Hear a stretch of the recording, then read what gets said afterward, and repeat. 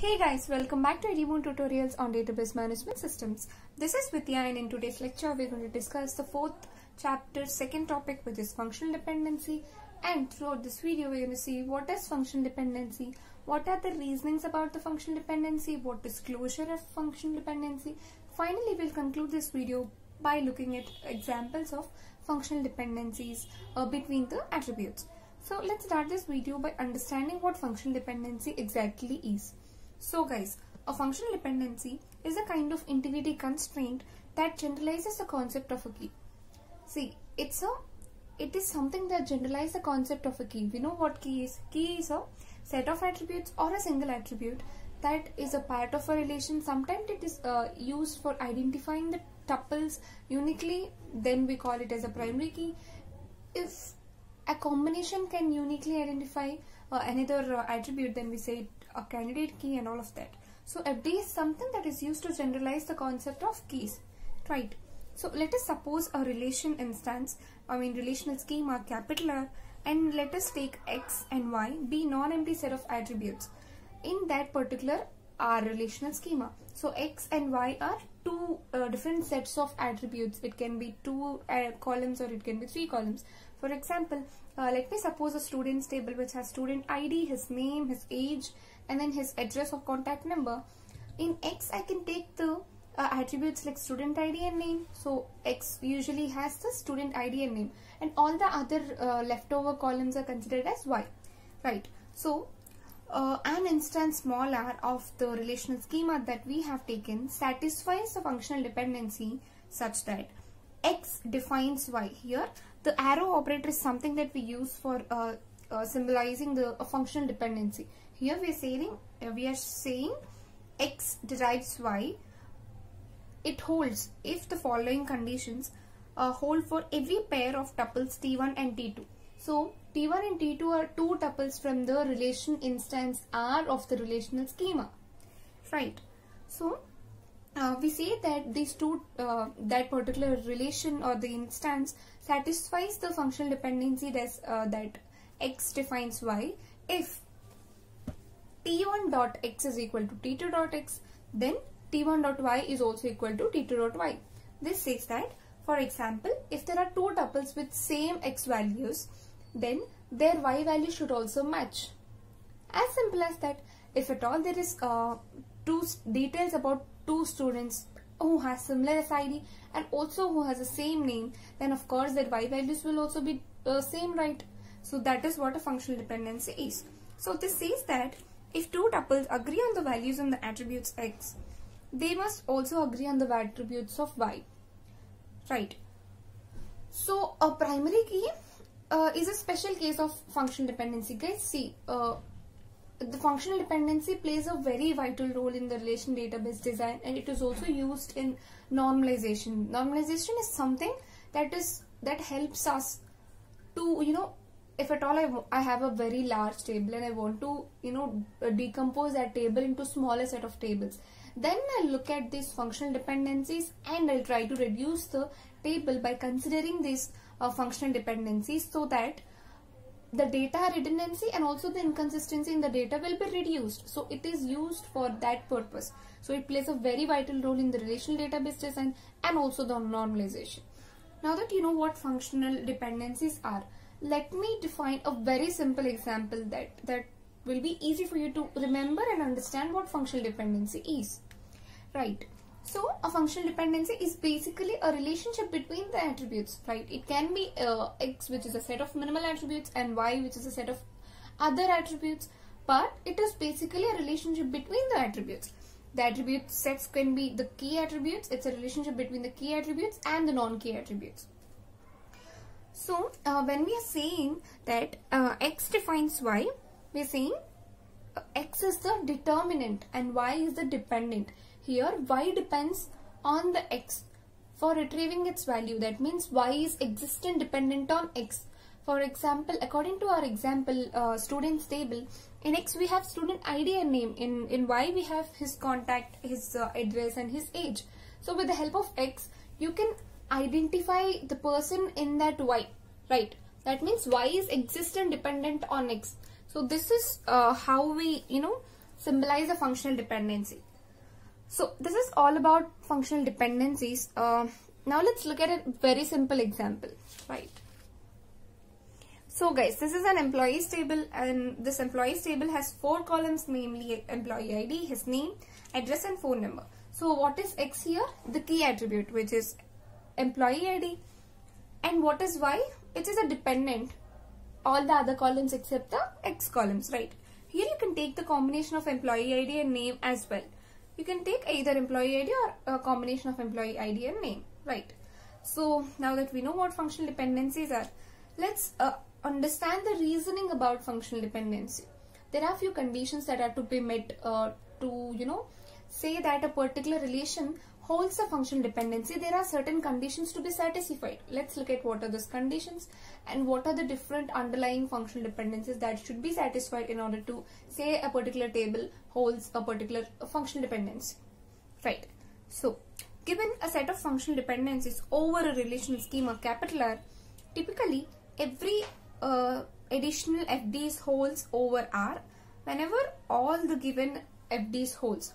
So you can say a particular FD holds on a particular relational instance only if all the FDs that uh, you know that are there in that particular relational schema holds or satisfies. Chill, you'll understand it better when you see an example, right? So let us look at an example which is workers table. So we basically have uh, five columns like SSN, name, lot, DID and since from since uh, when they are working.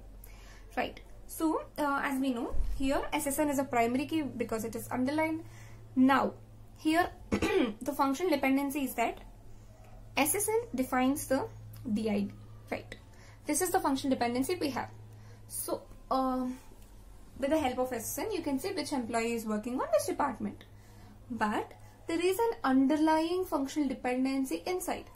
Depending upon the DID, department ID only know we will define the lot size of that particular department.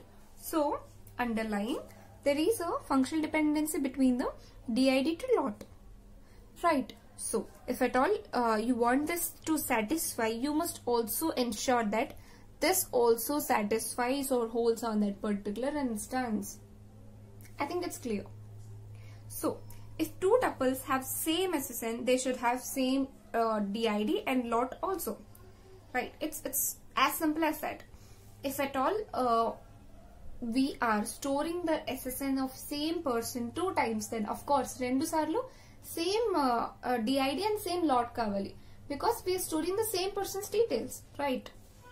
So when we are saying SSN uh, arrow DID and DID arrow lot, we are indirectly saying that SSN also defines lot. This should also hold on works. Only then you can say this particular thing holds on that particular instance. Right.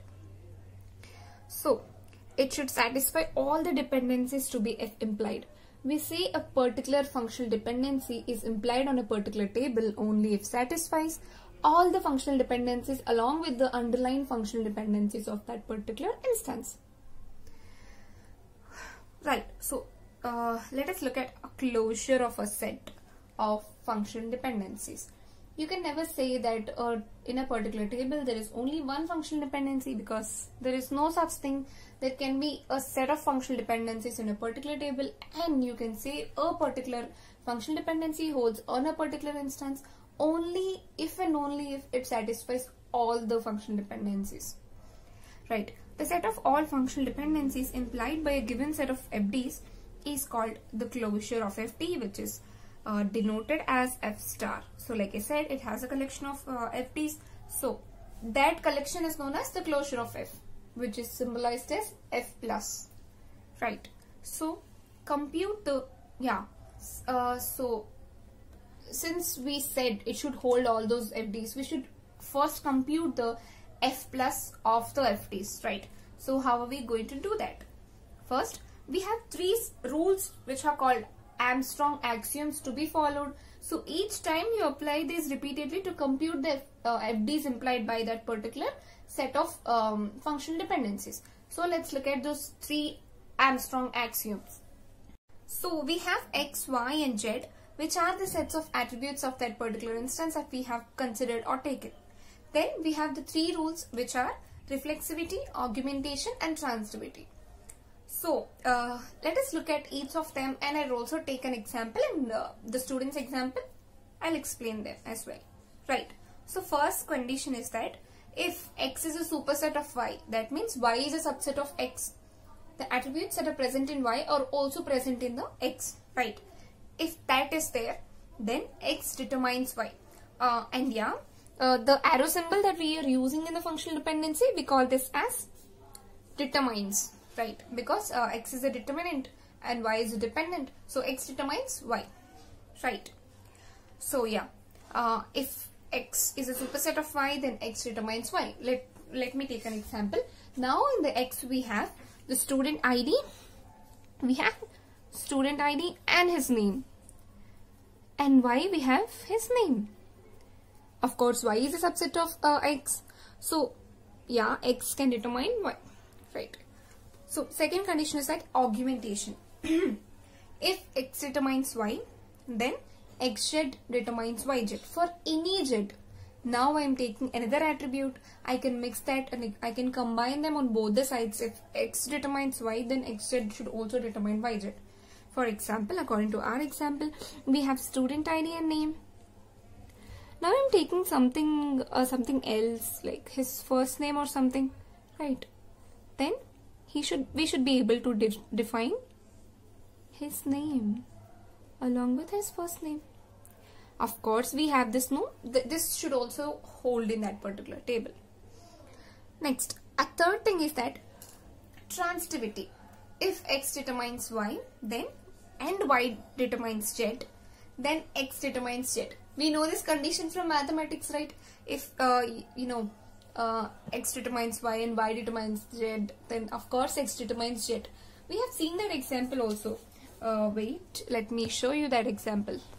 See here, uh, SSN determines DID and DID determines lot. Then we have concluded that SSN determines lot too. So this is the example of transitivity, right? So yeah, this is uh, all about the closure of uh, the FD. So we say if at all the any particular instance uh, holds all of these three rules then we can say that particular functional dependency is implied on that particular relation. So let's look at an example to understand all that we have learned till now about functional dependencies.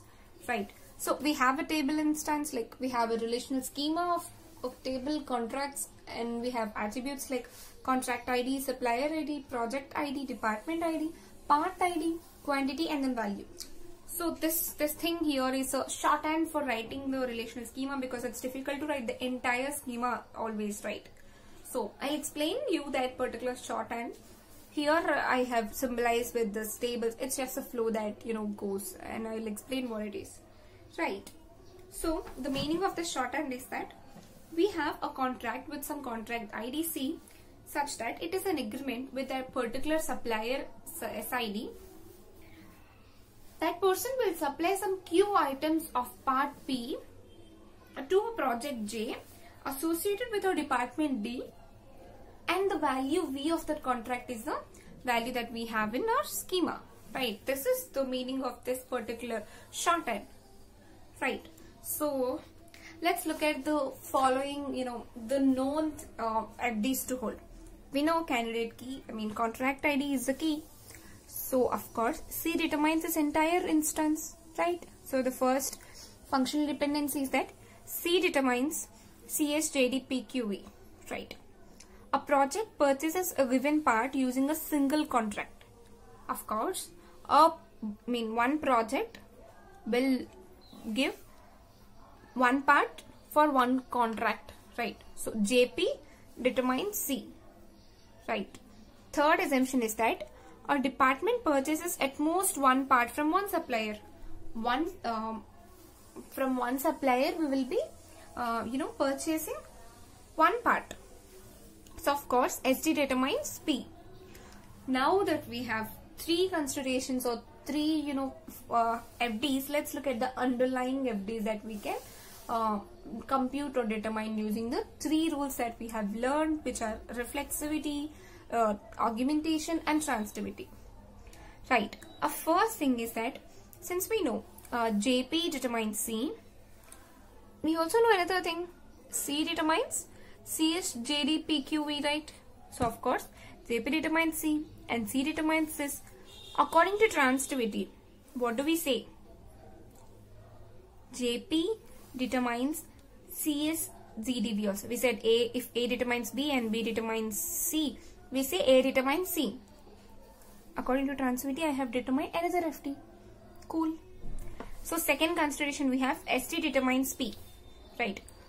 According to augmentation, I can say I can uh, take uh, additional attribute which is C, which is which determines project.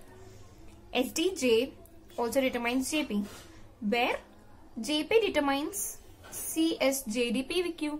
Then I can say SDJ determines CSDJPVQ. This is according to transitivity. Right. So that we have computed all the underlying FDs that are present by considering or by considering, you know, the known FDs. So now we can say this particular, uh, you know, this particular three things holds on this particular instance because it is satisfying all the constraints. So guys, this is all about functional dependencies. I'll meet you in the next lecture where we'll be discussing the next important topic which is normal forms of a fourth chapter. Till then, stay tuned. Thank you.